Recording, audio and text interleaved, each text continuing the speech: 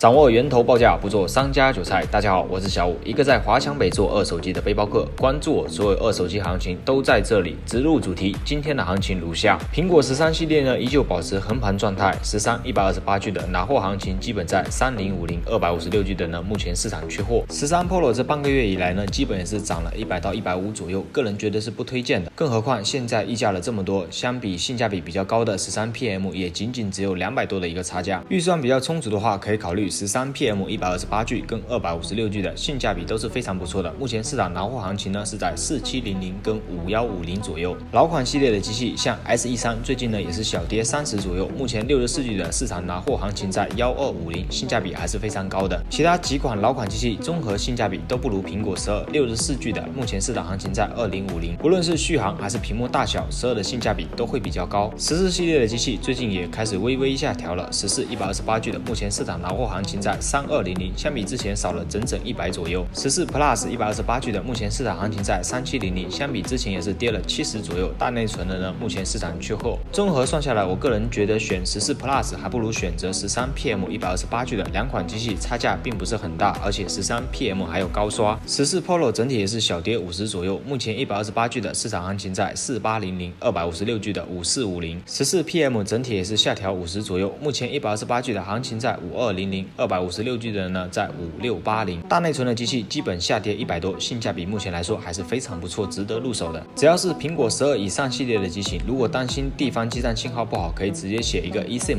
不仅能实现四 G、五 G，同时还能避免信号比较差的问题。什么是卡贴机？这是这段时间直播间依旧问的比较频繁的一个问题。那到底什么是有锁卡贴机？你们可以正常理解成合约机，充话费送的手机。这种手机呢，在国内它是没有办法正常使用的，需要配合一种卡贴激活网。络才能正常使用机器的功能、品控、质量各方面都是一样的，也是可以随意升级还原。这个锁仅仅只是网络锁，跟功能是没有任何关系，并不是什么组装翻新机，只是需要配合卡贴激活网络就能正常使用，能省下个大几千。如果是你，你会如何选择？欢迎评论区一起讨论交流。好了，今天的视频呢就分享到这里了。如果对你有所帮助，可以收藏或者加个关注，避免下次找不到我。